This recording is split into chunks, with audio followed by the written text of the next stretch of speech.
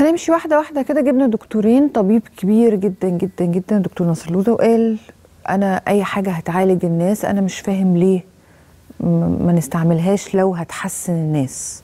في ناس كتير تقول لك عشان أنت لو قلت إن في مس من الجن يبقى بتفتح باب للشعوذة والدجل وهو دلوقتي مش مفتوح باب للدجل والشعوذة؟ كام جريمة بتمسكهم وزارة الداخلية بيبقى دجال ضحك على ناس دجال اغتصب ناس دجال بيساوم ناس. كام رجل أعمال في مصر ماشي بشيخ معاه؟ في الشرقية ما بيتعملش مولد كبير قوي والناس تروح تقدم الكرامات و و و و و. مفيش دلوقتي دجالين عليهم طوابير كتير قوي. انت مش هتفتح باب ولا حاجة. انت هتقول للناس ان في ناس نصابين هناك علاج روحاني وفي ناس نصابين وفي دكاترة. دكتورة قالت لي أنا هديها حقنة مخدر وهخليها تقول لي الحقيقة. هي بتقول دلوقتي أنا اديتها مية بملح. ليه؟ أنت متفقة معايا إنك هتديها مخدر عشان تشخصي الحالة. اديتيها مية بملح ليه؟ واديتيها حقنتين مية بملح. طب ولما قعدتي معاها أنا مش هسألك عن التشخيص لأن هي البنت من ساعة ما دخلت بتصرخ. هي بتقول لما لما غادة بس فتحت الباب عليها هي صرخت. طب والمخدر راح فين؟ ما كانش مخدر كان مية بملح. طب وانت هت هت هت هت هتقرريها بالمية بملح؟ كنت بتحط لها مية بملح عشان تعرفي بتمثل ولا لأ؟ طب لقيتيها ما بتمثلش ما اديتيهاش مخدر ليه؟ والحقنتين كانوا مية بملح؟ يعني اديتيها مية بملح فالبنت ما اتخدرتش رحتي مديها مية بملح تاني؟ طبعا اللي هيحصل بقى من زملائي الإعلاميين اللي أنا ما بقتش عارفة هم عدو ولا حبيب ولا إيه هيستضيفوا بقى الدكتورة اللي ضدي وهيستضيفوا اللي مش عارفه إيه ضدي. الحلقة دي أي حد هيتكلم بعديها هيدخل من هنا ويطلع من الناحية التانية خالص.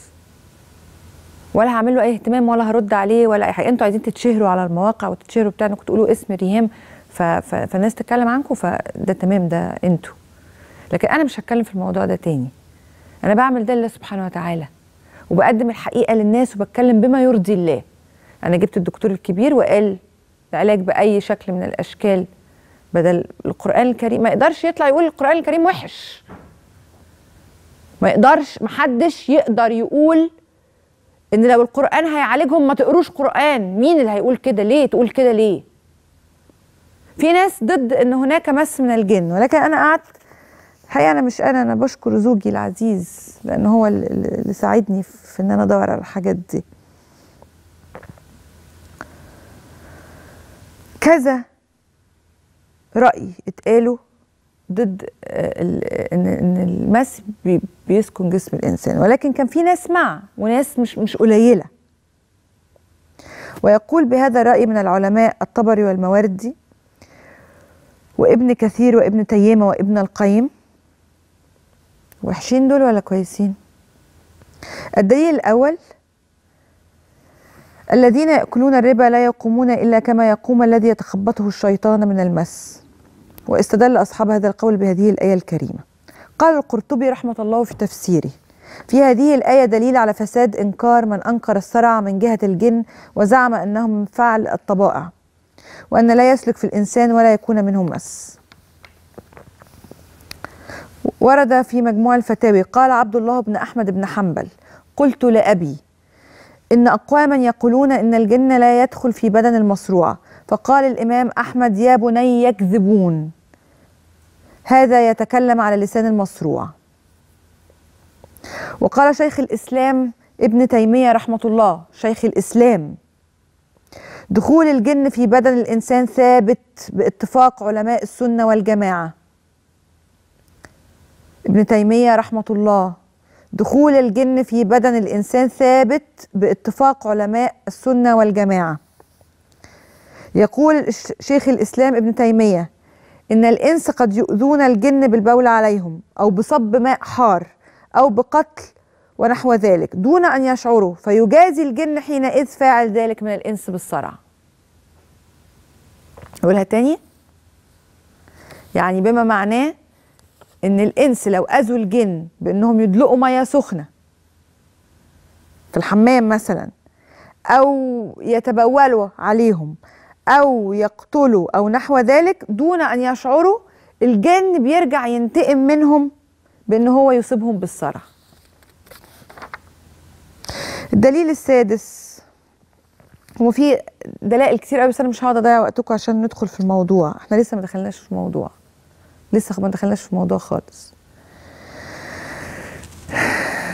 خرجنا مع لأصحاب هذا القول حديث أسامة بن زيد قال خرجنا مع رسول الله صلى الله عليه وسلم في حجته التي حجها فلما هبطنا عارضت رسول الله صلى الله عليه وسلم امرأة. رايحين يحجوا حجه فقابلت الرسول واحدة ست قالت له ابني مخنوق.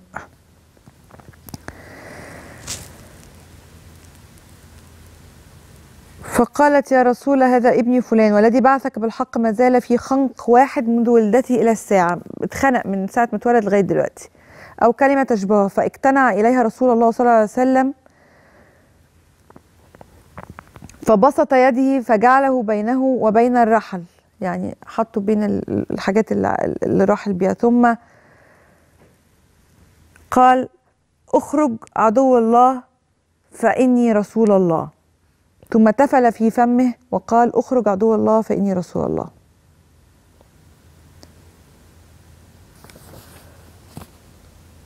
واحدة عرضت الرسول صلى الله عليه وسلم وهو طالع الحج قالت له أنا ابني مخنوق. فحطوا بينه وبين الحاجات اللي كان راحل بيها ونفخ في وشه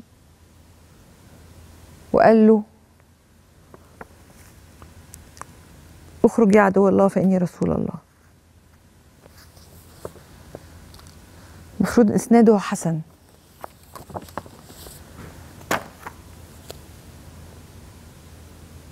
في ناس بتقول مفيش ولكن في علماء كبار جدا زي شيخ الإسلام ابن تيمية قال فيه.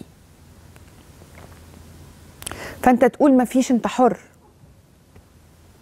وبرضو إحنا مش طالعين نقول النهارده إن فيه.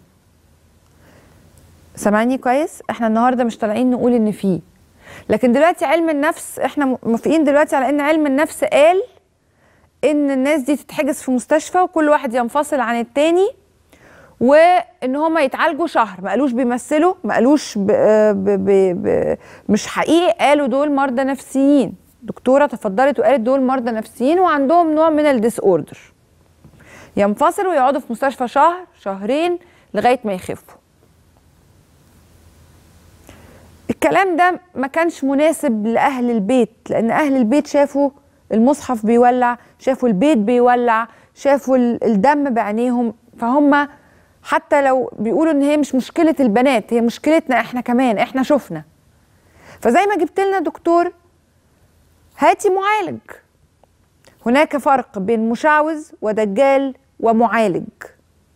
العلاج بالقرآن الكريم محدش يقدر يتكلم عليه. خالص.